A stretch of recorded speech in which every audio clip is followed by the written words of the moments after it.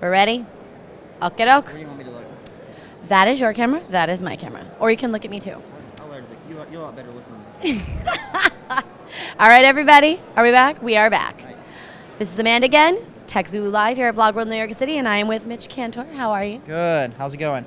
Great. I love the hat. Thank you very much. I've been wanting to grab it off of your head whenever I see you walking around. I want to kind of flip it up off and, and wear it.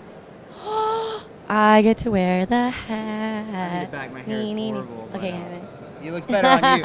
It looks better on you than it does on me. So.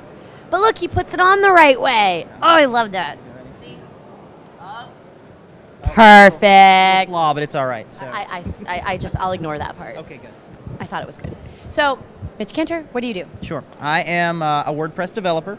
So I work as a consultant. I'm based out of Nashville, Tennessee, and I work with uh, I work with bloggers who want to just start simple blogs on WordPress. I work with businesses who want to build full websites on the WordPress platform with a blog, without a blog, doesn't matter. It, it's just being able to edit their content really easily. Uh, and then on the enterprise level, I actually work as a contractor with Bridgestone of America. The America is the tire company, uh, and I am a, a contractor there doing uh, open source projects for them as well. So. We're in a lot of talk of open source here at Blog World today. Why? Open source is, uh, for, for those of your, your viewers who don't know, open source is when uh, the code base of a particular software package is not only available for uh, download on the internet, but it's one that people can actually take and modify. Uh, and, it, and that's based on whatever licensing issues are, are doing with that as well. But for the most part, you can take the code, you can manipulate it, you can do whatever you want with it. It's your code once you download it, and you can do whatever you want with it. A really good explanation of open source. Thank you. I, I believe a lot in open source. I mean, I run, um, you know, I run Linux as my primary operating operating system on my own laptop. Right. Uh, you know, Open uh, Open Office now LibreOffice on on that system is is open source. Uh, and of course, being a WordPress developer, uh, WordPress is definitely uh, one of my favorite open source packages because uh, it's free, not only as in beer, but also as in speech. So um, free on all levels. And you know, when, if I wanted to, I could take the the modify the code, modify it, and do whatever I want with it, uh, and make it my own. And, and at the end of the day, that gives me ownership uh, to not only make what I want to do with it better, uh, but also to contribute back and make it better for myself and other people all at the same time. How long have you been developing in WordPress? I've been developing uh, for me as a designer for about three and a half years. Uh, I've been using WordPress for about eight years, uh, pretty much right since the beginning. Uh, I was still in college. I was the editor of the yearbook. I used it to sort of document my exploits and talk about what we were doing. Um, fast forward a few years later, WordPress was gaining in popularity. Uh, I moved to Nashville to uh, take a job there, and uh, that didn't last long, unfortunately. The job market wasn't as nice as I'd hoped. Did what everybody in Nashville has done wait tables, do all that fun stuff.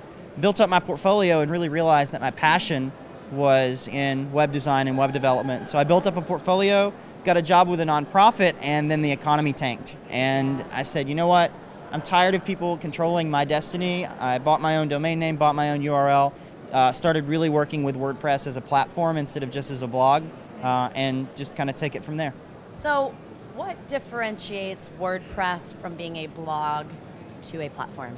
It's both. Uh, and in all honesty, the, the question that I keep getting while I'm here is okay, what's the difference between a blog and a website? And the lines between the answer to that are blurring. Yeah. Because a lot of times, if you look at, if you're looking for something on Google, you're looking for it on a blog because Right. that's what's relevant. You know, it's people posting relevant information uh, that Google sees as fresh and relevant and having to do with all the other content on the blog. Right. So blogs are going to be higher up in search rankings just from, from default nature. Uh, but more and more people are starting to realize that, well, you know, I have this blog that's got posts that are coming in and going out, and you know, the content's there, but it's not always there. It's it's rotating out to the archives and whatever. So they want a place that they can store more permanent information, an about page, a contact page. So WordPress makes it super easy to transform with a few clicks from a blog where your blog posts are on the front page to where your blog is a sub element of the rest of the site. It's a smaller part of a greater whole. You can do a custom front page. You can even do a custom front page design and make your front page look immensely different from what the rest of your site looks like. Uh, even even to the point where your inside pages look like your blog, but your outside page doesn't. So you've got full functionality and full flexibility with whatever you want to do there. Very cool. Is are there any themes in particular that you really dig in WordPress right now? Uh, I, I'll be- I'll be honest. I do write a lot of my own code. I am a designer and a developer, so I do write a lot of this stuff from scratch. Um, if there is a client that wants a theme that is a little more flexible and it's more customizable for them, um, then I will actually set them up with Woo Themes Canvas theme. Uh, a lot of people compare it to something more on the lines of Genesis or Thesis or whatever. Yep. Uh, I like it because it is uh, it's your theme. Once you buy it, you can do whatever you want with it. Use it on as many sites as you want. It's it's great like that. But from a theme standpoint, a lot of the newer technologies that WordPress implements are already built in. Uh, so WordPress recently did with 3.1 their post formats. So if you're familiar with Tumblr, you know that you can do a picture that looks different than a video that looks different than a post, uh, a regular post or a Right. quote. And post formats allow you to basically transform your blog into a Tumblr and have give you the opportunity to post your images, your video, your audio, do whatever, Right. and look exactly like a, a Tumblr would. Even to the point of controlling what shows up and what links where and all that sort of stuff. Right. Um, so you know, a- a- all that stuff is built into Canvas already, uh, as well as being able to change fonts, change background colors, even some layout styles are there, even down to what page gets what sidebar widgets. Uh, it's really customizable.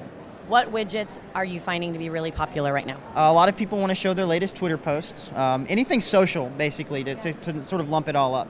Twitter posts, uh, Facebook profiles. Uh, I've seen some people that are wanting to do Foursquare check-ins. You know, where am I on Foursquare right now? what are Um, some of the innovative things that you're seeing? Uh, Instagram having released their uh, their it, I know it hasn't been released yet, but they've got their private API that people are starting to hook into, and there are a lot of uh, Instagram plugins out there now that will let you pull your feed onto your sidebar and have a continuously updating sort of mini photo gallery that you control from your phone. Nice. So, how did you get into, you know, developing WordPress themes from scratch? Where did you learn this? Well, um, to be very honest, I actually have a degree in marketing and advertising, Okay. And when Again, how did you learn this? I'm from a. sm- I actually, you would look at me and you wouldn't be able to tell this. I grew up on a small farm in the middle of Kentucky. Uh, literally about uh, a thousand people uh, in my part of town. wait, wait, hold the presses. Did you just hear that? A thousand people? I thought I had the world record for the smallest town with 1,500 back Yeah. in Maine. He just beat me. Yeah, I mean, me. there's there's Kentucky. one there's one stoplight. Uh, it's a Oh, wait, blinking wait, red light. wait, wait. a Okay, I win this light. though. I win this though. No stoplights in my hometown. All right, all right. There's, it's actually one of those blinking lights that's like yellow and, and okay, so it's not a true stoplight. Um, so yeah, it's a really small town, and, and I ended up moving to Nashville because I realized that, you know, it, it just wasn't there as far as technology goes, and I wanted to be able to get out and not you know go to the big city and see the world, but you know, I wanted to be able to get out and, and do something you know that was really cool. And while I was in, in high school, while I was in college, um, I went to a college that was very similar, very very small college, about 20,000 students, uh, 30,000 in the whole town. I mean, it was really small. Uh, I was one of two people in my final class that had ever even seen Photoshop, Wow. uh, much less Dreamweaver. And I mean, nobody there. You know, the CIS programs and the computer science stuff were all were all in that stuff, and they did a great job. But we were all advertising majors. You know, Yeah. I was the only one that really had experience making it look pretty. So it was my job to make it look pretty, and they got to do all the hard research.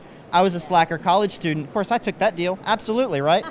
So I ended up getting into Nashville to take another job. Like I said, it fell through, but I realized Nashville has some really great print design shops. You've got people in the likes of Hatch Show Print Yeah. and all of these uh, different, you know, people that have been doing musician work and band Yeah. photos and for, for years, you know, like tens of years, not just like a couple of years ago. And I realized, okay, you know, print design is great, but I want to be able to actually differentiate myself. So I really got into web development. Uh, I'd done it amateurishly through high school, through college, and I really wanted to get in and do web development uh, professionally because I saw that's where everything was headed. so how? How? I uh, honestly, it was just a lot of uh, a lot of trial and error. Uh, basically, Did you get books? Were you reading online in forums? How did you learn? a lot of forums, uh, and I was reading a few books here and there, uh, but for the most part, it was basically me looking at a website and saying, okay, what, what makes this website tick? You know, how is this website doing whatever it is? And between the time that I did it in high school and the time I did it after college, uh, we had seen the advent of XHTML and CSS. So now form and function were being separated. You had RSS feeds coming into the picture. It was a completely different animal, and I wanted, I knew that it was the beginning of something something great. And I wanted to jump in and start learning that before it got too far off the ground for me to really be able to jump in. So I was, you know, I was working with uh, CSS and HTML as early as I could. Uh, a lot of the browsers even then didn't support it all the way. Still, now you've got Firefox 4 and Oh, yeah. and Chrome and all of those support everything like that natively now, without question. Um, What browser do you use by default? I use Chrome on Linux as my default, and then for development, I use Firefox uh, because I have a lot of plugins that I use for devel- the development side.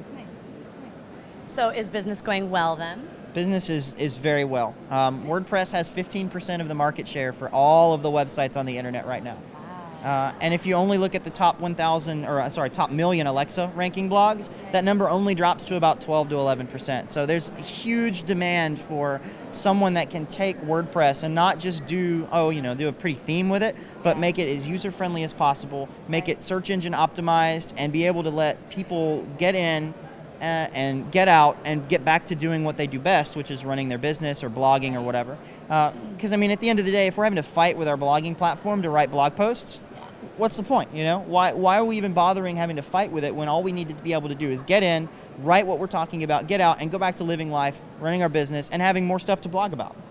So if we go to your site, then what are we going to find? Uh, if you go to www.studionashvegas.com, uh, it's my company website. I say company, but I am my company, so it's my website.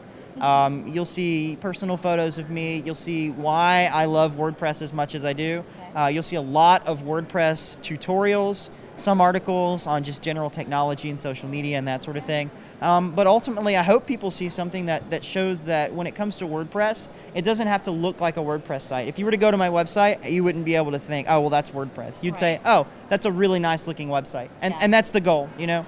The end, obviously, WordPress is a great platform, but at the end of the day, clients don't care how it's done. They want it done right and they want it to look nice. And my goal is to make WordPress work with business owners and bloggers to do just that. And I'm sure you've stopped by the WordPress booth Oh, here yeah. at BlogWorld. I've gotten uh, uh, probably two or three T-shirts and a lot of stickers, and uh, you know, I mean, you can see by my wardrobe, I like I like the really fun tech T-shirt uh, stuff. So Nice. You need to check out a company called Nerdy Shirts. nerdy shirts. Yeah. Oh, nice. Yeah. Right, Efren? NerdyShirts.com. Yeah, I'll definitely check it out. Well, thank you. So glad to have you stop by. my pleasure. And we will see you hopefully at another conference. You, you can you can go out with the hat. So. I can even I can even wear the hat. Absolutely. So it definitely looks better on her than it does on me. So. There you go. Thank you very Thank you, Mitch. That was awesome. Mitch Canter. Make sure you check out what is it called again? Uh, Studio Nash StudioNashVegas.com. I am going to be checking it out. WordPress sites rock.